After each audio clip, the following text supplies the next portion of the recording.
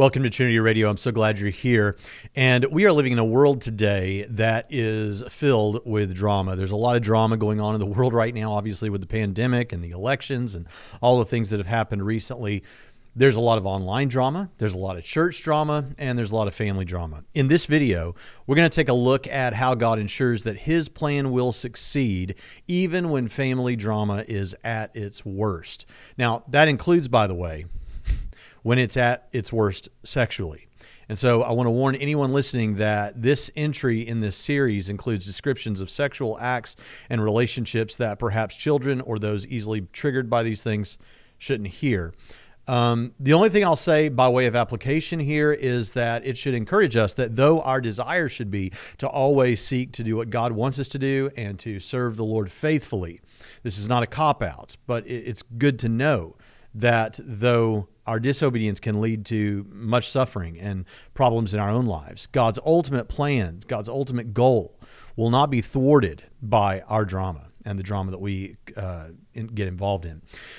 Now, it's not clear exactly when in the narrative of the story. So, for those that don't know, this is in a series on the book of Genesis, and we're in chapter 38 starting today. And this is it, it's unclear exactly where this story goes in the narrative flow. We've just heard the story of Joseph's Joseph being sold into slavery by his brothers, and uh, in, we're later going to pick up the story with Joseph in Egypt. But at this point, it's, it's unclear exactly where this goes. Now, there's indication in the text in verse 1 of chapter 38 says, And it came about at that time that Judah, and then it goes along with the story. But how we're to understand at that time is difficult when you get into um, the, uh, the, the amount of time that it would take Judah to accomplish these things that are discussed in this chapter. It may well be that some of these things started during uh, the period when they first came into this land uh, before the events of the previous chapter. So it may not be exactly chronological. Uh, just keep that in mind. One thing to note about this chapter is well, there's a couple of things. First of all, why is this here? Why is it interrupting the story of Joseph? and and just to give us this very bizarre story, frankly, about one of the sons of Jacob that will become one of the tribes of Israel, namely Judah. Well, uh, it may be difficult for others to figure this out, and there are certainly no shortage of possible explanations for this.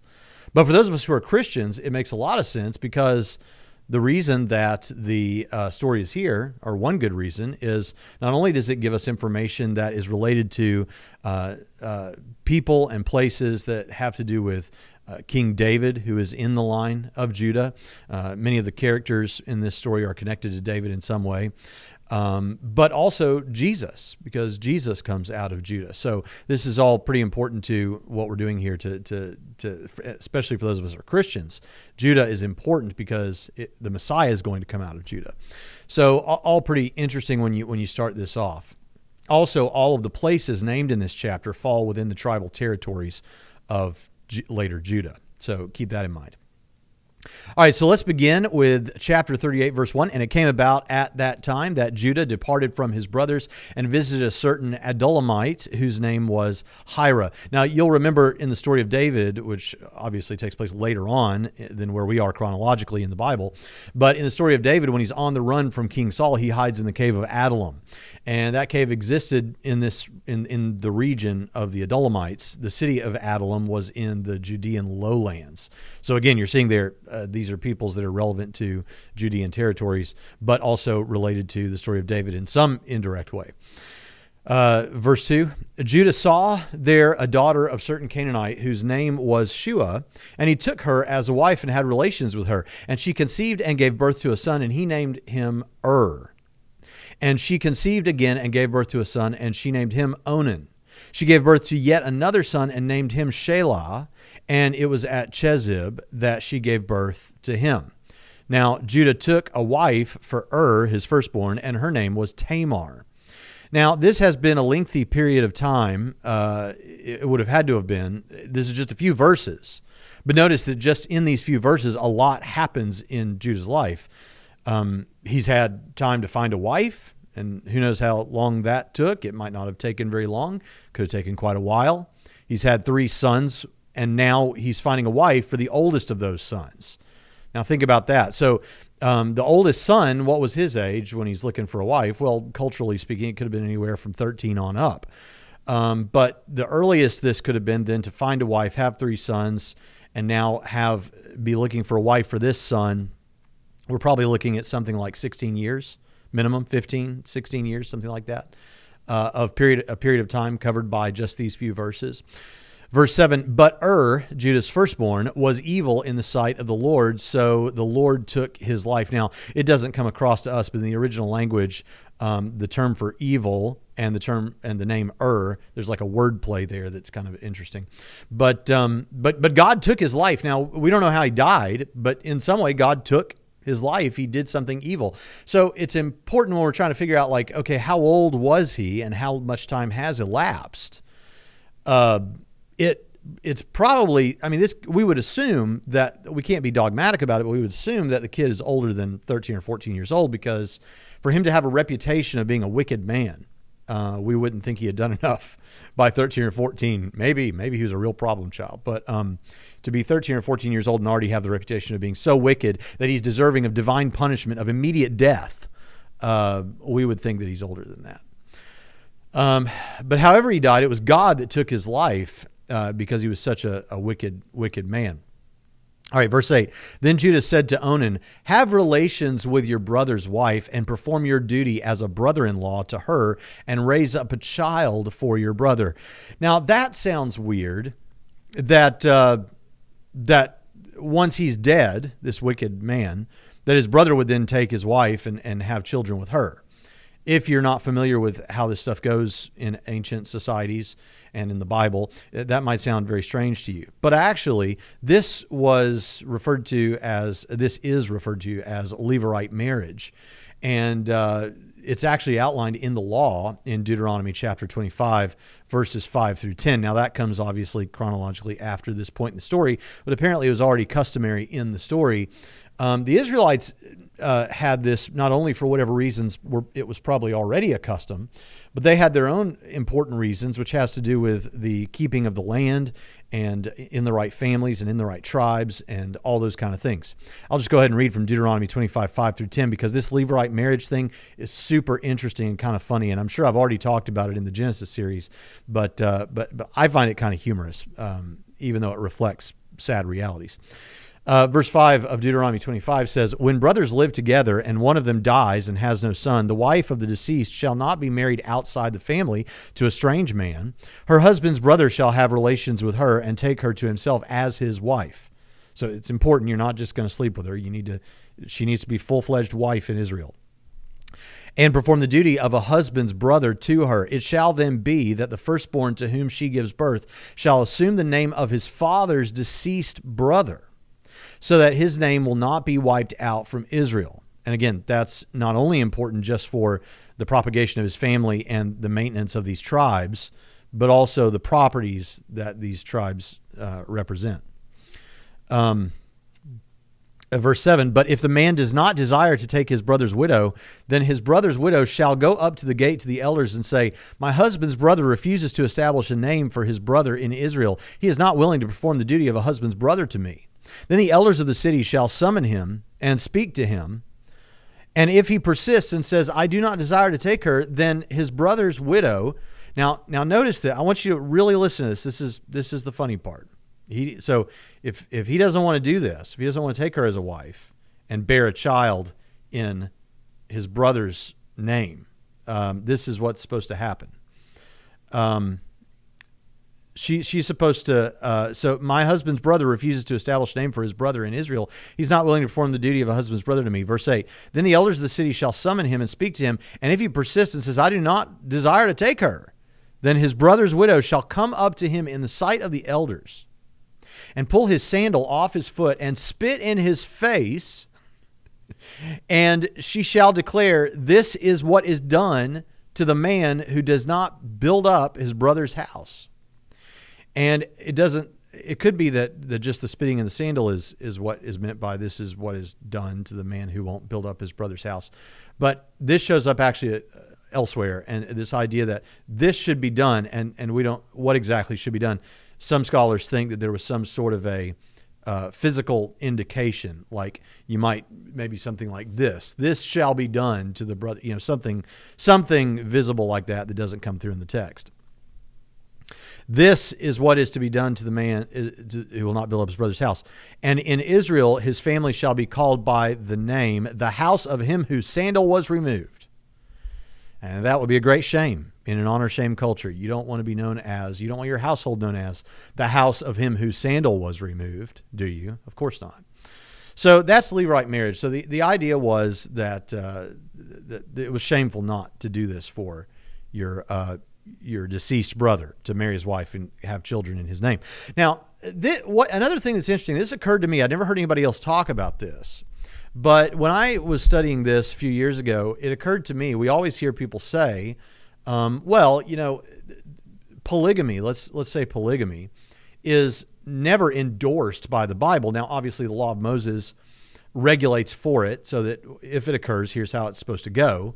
Um, and we obviously see polygamy in the Bible, but it, it, but it, oftentimes preachers and Christian apologists and Bible teachers will say, but nowhere in the Bible does it actually um, mandate or encourage or speak positively of uh, polygamy.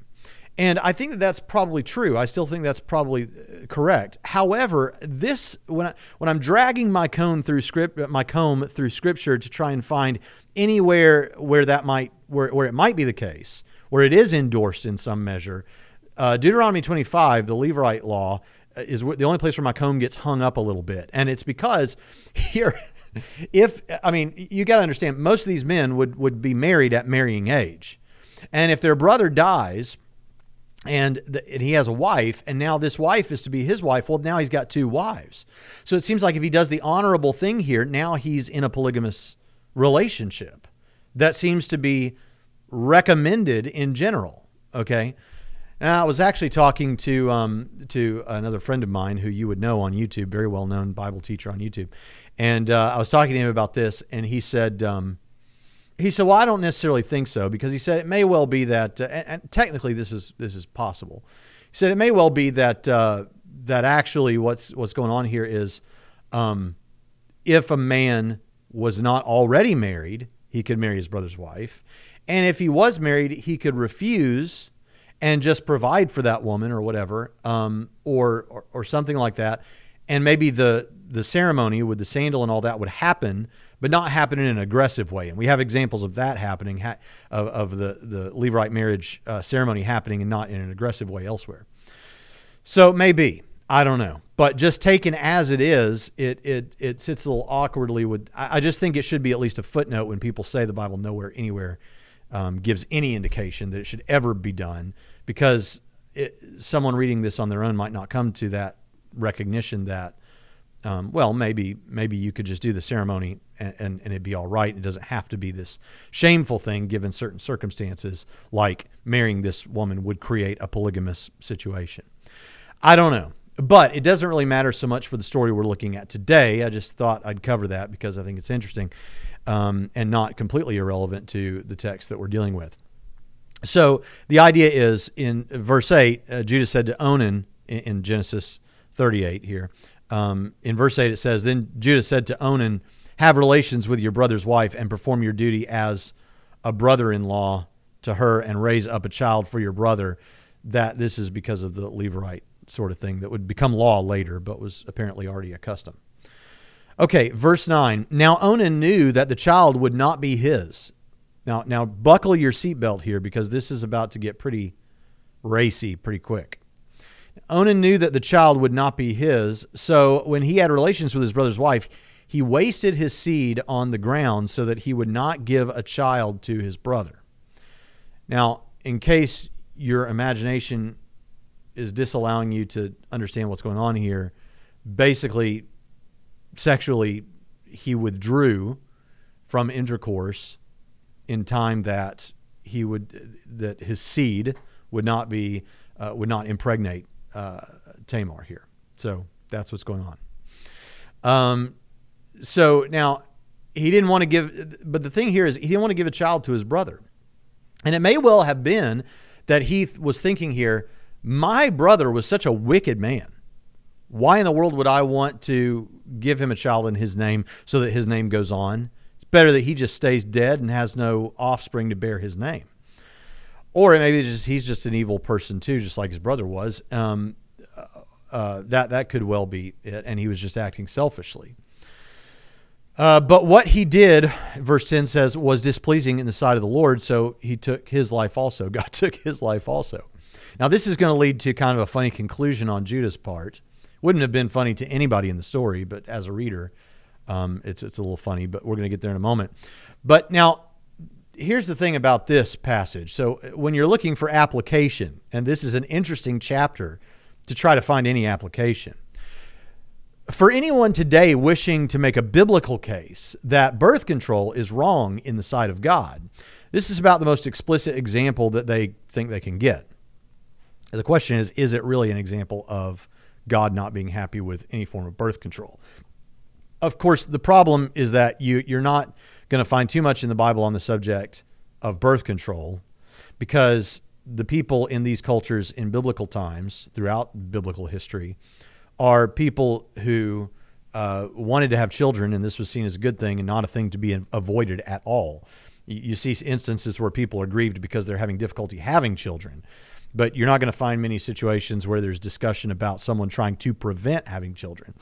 And so you land on a passage like this, and this is about all you've got, something like this, to try and make your case that God is uh, uh, that, that God is upset and upset enough by birth control that he's actually going to take someone's life. I mean, if a man preventing conception resulted in divine judgment, that seems to speak pretty sternly about the issue, right? Now, that's all well and good. But whether or not God is actually against birth control in all cases, I don't think this story serves as evidence for that conclusion. Um, it's it's because it's not just that a man prevented conception. That's not all that's going on here. It's that a man prevented conception in order to avoid familial obligations regarding the production of offspring for his brother. That's the problem. And actually, there may be a deeper problem that perhaps we might add to that crime the crime of using his brother's wife for personal pleasure and nothing more when something more was the whole point of the arrangement. Now, for for married couples, uh, the pleasures of sex are a good thing. That's something that God clearly intended, and I don't. I, I think one is got a total uphill battle to argue that there's something wrong with sexual pleasure and enjoying one another's bodies in a marriage relationship. That's a perfectly acceptable biblical idea. Um, but if but but that's partly because you're not treating them as just an object. That is a person who you have made a serious commitment to and you have an arrangement with. You've pledged your life and all your possessions to him and to her. And that's that's i mean that there is a self-sacrificial recognition that um, that we're all in together. This is not just you're not just an object for my pleasure. Well part of the arrangement of this marriage was that she would become pregnant and a child would be provided for this dead brother in his name that was a part of the whole setup. Well, he's just treating her as an object and, and ignoring that part of the setup. So it, I don't think one can make a case that birth control is in principle a bad thing in God's eyes on the basis of this text, because the thing that got this man killed was not just that he prevented um, pregnancy, uh, but it was actually that he did this in a circumstance where it was all a ruse. He was supposed to do this to fulfill his obligations, and perhaps now he's treated this woman merely as a sexual object, which is also wrong because she's much more than that, made in the image of God.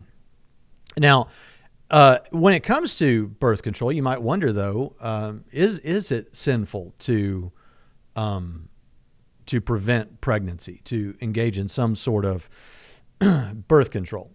I don't think so. I don't think the cases that I've heard for that are strong. It may well be that God views it that way, but I think the more important question is for what reason, because this is what gets to the heart issue, for what reason is it that you are seeking birth control? Uh, that'll get you more to the heart of this thing. If you're seeking birth control because you want to be involved in sexual promiscuity with people you're not married to, with no ramifications or less of a chance of ramifications. Well, that's not a good heart reason. That's that's you're in sin, right? Um, if if you are doing it because you just have no interest in what whether God might want that, or you've not even considered whether God might want children for you, well, then I think that's probably not right either. Um, what's the reason why you're preventing this? Uh, there may be good reasons. Now, I, will tell you. Um, I, I, I hope I'm not sharing too much personal information, but I think I already have in this series in the early chapters of Genesis with Be Fruitful and Multiply. But um, I, I, personally have taken measures, uh, that there have been surgical measures taken with respect to me, let's just say it that way, so that um, medically speaking, it is very, very unlikely that I will produce any more children. Now, I have two daughters who I love. And um, I mean, I'm absolutely pleased not to have any more children. However, I got somewhat convicted years ago listening to Steve Gregg um, lecturing on these issues because uh, while he agrees that there's nothing in principle wrong with uh, contraception, the idea, or with birth control, let's say that, uh, uh to be more ambiguous, there are some forms of contraceptive that I think are in principle wicked. Like if they cause the termination of a fertilized egg, I think that's a problem. But um, but but because you know the Bible does describe children as um, military devices. They are like arrows that you fire at the enemy uh, that you have. Now, obviously not physical combat, but they are, you know, they're a part of your spiritual warfare. You raise up these children and you fire them out onto the world, onto the enemy territory um, as arrows to impact the world for the things of God, for the kingdom of God. And so, if that's if that's how the Bible describes children and your relationship to them, then why would a man or a woman to minimize the number of arrows they have to fire on the enemy? That makes a certain amount of sense to me. And so, I actually got a little bit convicted about person. You know, I'm not saying that somebody needs to have 14 children or something. I'm not saying that. But I am saying that for me personally, as a matter of personal conviction, I'm convicted that uh, that I took that measure when I wasn't entirely certain that was the right measure for us to take. Um, interestingly, uh, I'm, I'm, I've, I'm, I've just turned 40, but, but a few months ago when I was still 39, I actually encountered a man who's a pastor in our area and somewhat charismatic. And we were talking about this very issue. And he said, Brother, I've got a word from the Lord. And I said, What's that? And he said, You're supposed to have more kids. And I said, Well, it's it's probably not going to happen. And he said, No, no, no. It can be reversed, and you need to go have it reversed. This is as clear to me as anything. God has given me a word for you that you're to have that reversed, and you and your child and your wife are supposed to have a child. And um, and so I thought, well, I, I don't think that's right, but uh, but I do have this conviction that maybe I made the wrong decision. So I thought I'll go talk to Sarah and see what she thinks. So I went home to my wife and I told her what I thought about that. And she said, Sweetheart, we're both almost 40. And I said, Yeah. And she said, uh, I, He's going to have to give that word directly to me and it's going to have to be postmarked heaven. And so this is probably not going to happen. But the, the point is, this is a matter that I have tried to take seriously and feel that I didn't take seriously enough at a previous time. And perhaps you should take it seriously depending on where you are in life. All right, let's keep moving. Uh, verse 11 Then Judah said to his daughter in law Tamar, Remain a widow in your father's house until my son Shelah grows up. For he thought, I am afraid that he too may die like his brothers. So Tamar went and lived in her father's house. Now, this, this gets a little funny, okay? I don't know if you catch what's going on here. But the first brother died because he's a wicked man. Then the next guy marries her. He dies because of this whole thing about uh, enacting in a primitive form of birth control, or I guess I should say a natural form of birth control that is unnatural, but more natural, right? Uh, but Judah doesn't know why these guys are dead, apparently. And so what Judah is has decided must be the case, or might be the case, is this woman is cursed, and anyone who marries her for some reason or other dies. We don't know, but maybe he's thinking something like, "Well, I, it's this Canaanite stuff," you know. But anyway, he's he's afraid. Uh, okay, if I marry Shelah off to her now, he may die too. So what he tells her is, he's like, look, you just remain a widow in your father's house for right now. Now, this means that she is betrothed, and so to sleep with anyone else would be a form of adultery, culturally speaking, in their day. But he says, so you just, so he doesn't know what to do. So he says, you you just you just stay in your father's house. Shelah is too young. When he gets older, you know, then then then we'll see. Then you can marry him. Is the assumption. But he's thinking, I am afraid that he too may die like his brother. So he's he's kind of biding his time to figure something out. So verse uh, 11 says Tamar went and um, lived in her father's house. So this is kind of funny. Uh, verse 12 says, Now after a considerable time, Shua's daughter, the wife of Judah, died. And when the time of mourning was ended, Judah went up to his sheep shearers at Timnah, he and his friend Hira the Adullamite. And Tamar was told, Behold, your father in law is going up to Timnah to shear his sheep. So, now li- listen to this. She removed her widow's garments and covered herself with a veil and wrapped herself and sat in the gateway of Enaim, which is on the road to Timnah, for she saw that Shelah had grown up and she had not been given to him as a wife. So at this point, she's figured out that she's not going to be married to Shelah. That seems clear, and she's running out of options. So she's figured it out, and she's okay. What am I supposed to do now? I'm attached to this family. I can't go off and marry anyone else but there's no one else in this family, and they're not going to marry me off to the guy who is in this family who I could marry. So she comes up with this really gritty plan. So get ready. Because if you thought it was already uh, perhaps a R-rated story, then then here we go. Verse 15. when Judah saw her, he assumed she was a prostitute, for she had covered her face. So he turned aside to her by the road and said, Here now, let me have relations with you. For he did not know what she, that she was his daughter in law. And she said, What will you give me that you may have relations with me? He said, Therefore, I will send you a young goat from the flock. She then said, Will you give a pledge until you send it? He said, What pledge shall I give? And she said, Use your seal and your cord and your staff that is in your hand. Now, these items would have been identifiable to anyone who saw them as specific to Judah. You're familiar with seals, and we're going to talk a little bit about that in just a second. But the idea is these are not things that she would be able to, um, that, that in the presence of anyone else, uh, she would be able to deny. These are obviously um, Judah's property. So if she could produce these later, it would prove that she had been with Judah. Um, so what about this seal? Because uh, you might be thinking of a, a, a like a, and it, it's not dissimilar, like a seal on a ring, like, like a signet ring, and some of the translations say signet, that you would like put into wax for a letter or something, and and it would give your engraving or something.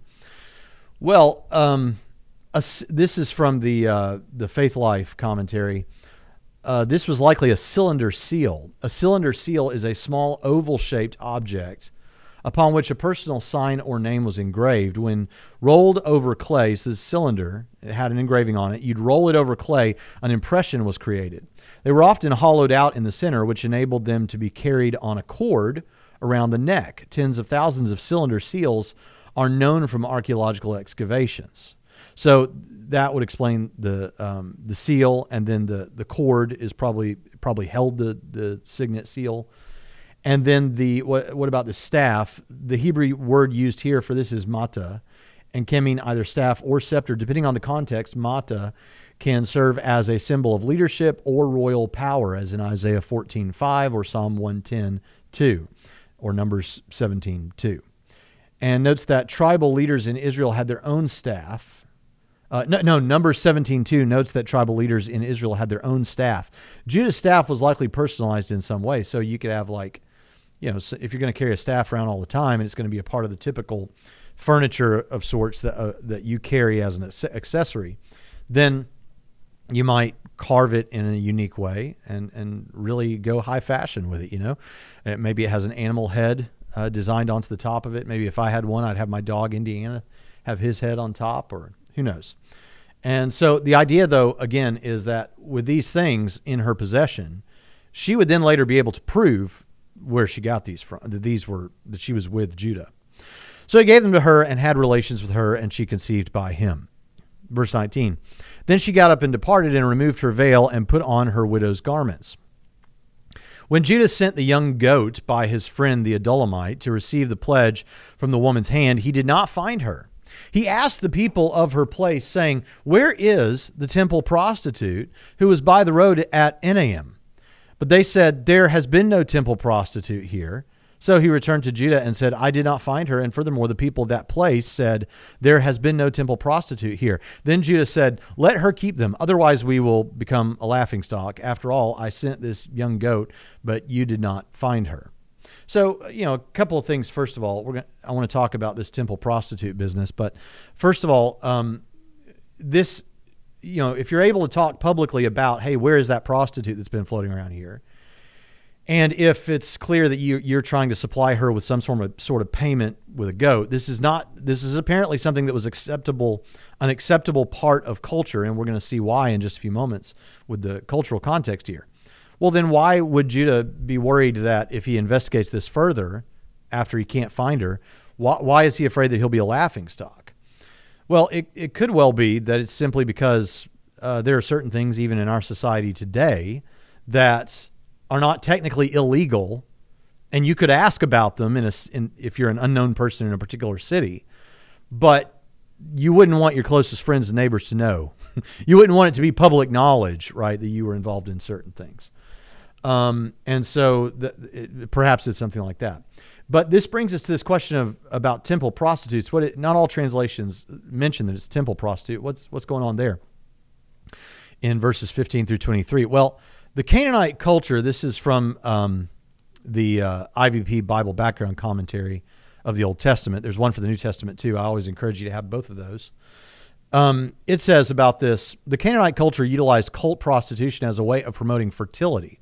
Devotees of the mother goddess Ishtar or Anat would reside at or near shrines and would dress in a veil as the symbolic bride of the god Baal or El.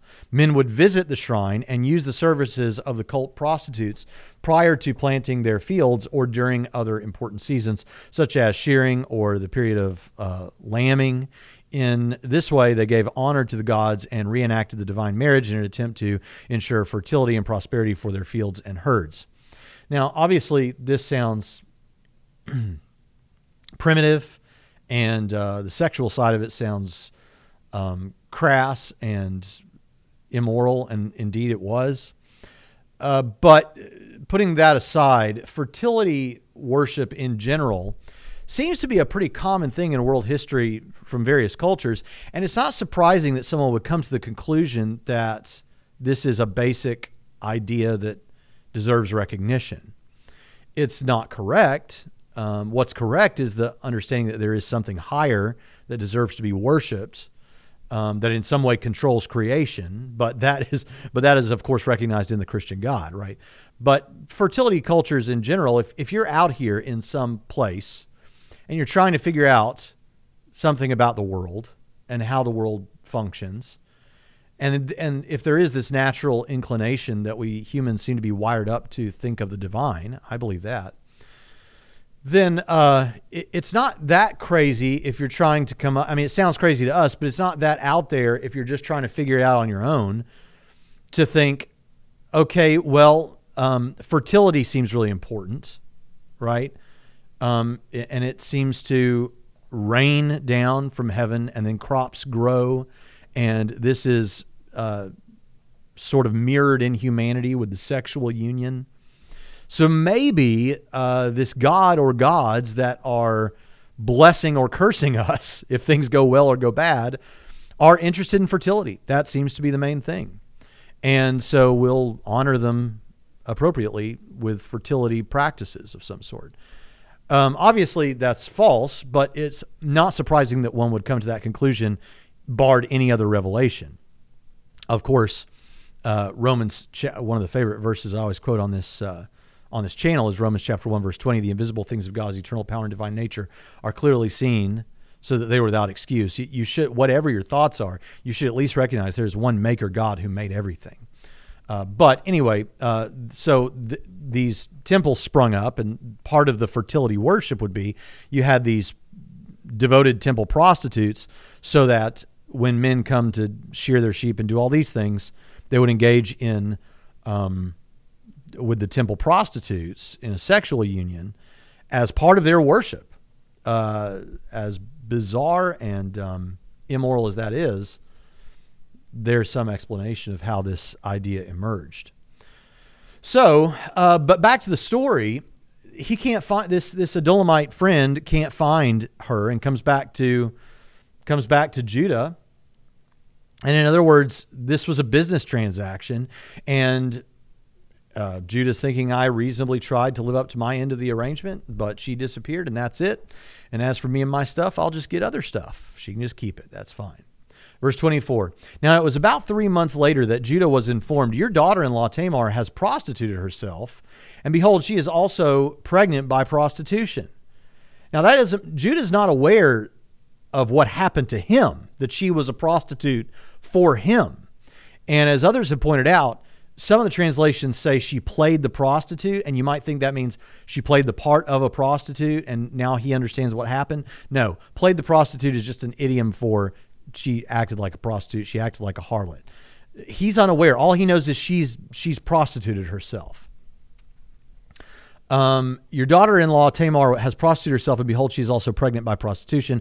Then Judah said, "Bring her out and have her burned." It was while she was being brought out that she sent word to her father-in-law, saying, "I am pregnant by the man to whom these things belong."